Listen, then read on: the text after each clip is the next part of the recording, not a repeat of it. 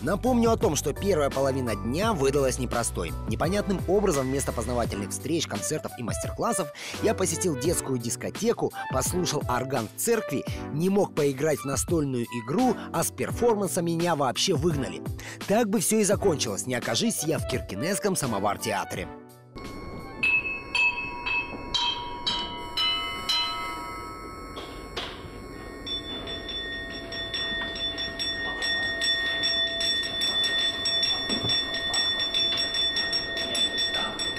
Постановка «Затерянный на горизонте» посвящена границам и тому, как они влияют на людей в их буднях и праздниках, планах и надеждах.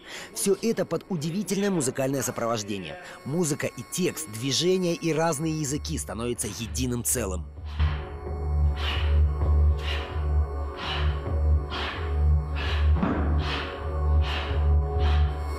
Затерянный на горизонте актуальный спектакль. По данным ООН, четверть миллиарда людей сейчас оставляют свои дома и пересекают границы в поисках лучшего будущего.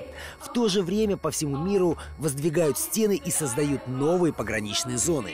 There is a start and a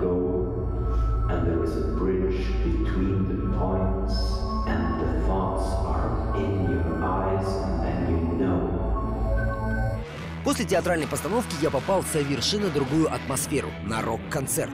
На сцене выступала норвежская группа Big Bang. Этот коллектив из Осло очень любим жителям королевства.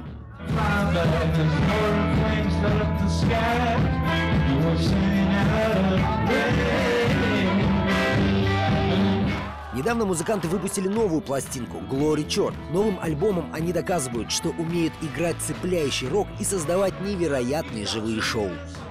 К слову, перед норвежским роком мы слушали русский. Иванова – этот квартет крутых российских артисток из Питера, играющих смесь современного рока и этно с нотками джаза и электроники.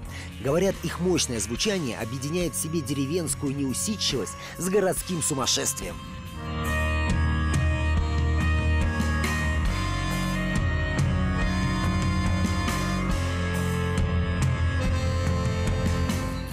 Закончился день совсем не так, как начинался. Объединенная сеть журналистов Баренц региона Баренц Пресс Интернешнл пригласила российских журналистов на частную посиделку с жителями Киркинеса. Дело в том, что в этот день шла прямая трансляция норвежского отборочного этапа на участие в вокальном конкурсе Евровидения.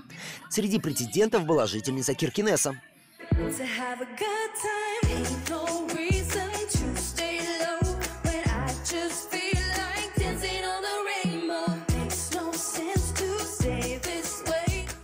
Лиза Васильева родилась в Мурманске, но в три года переехала в Норвегию.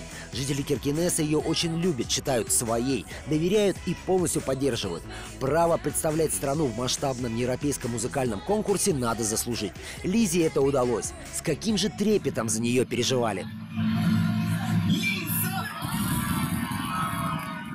Эмоций было много, голосование проходило онлайн, но меня поразило другое. В королевстве сами жители решают, кто представит страну на Евровидении. Отборочные этапы проходят очень зрелищно. Мы же в России не участвуем в голосовании за кандидатов.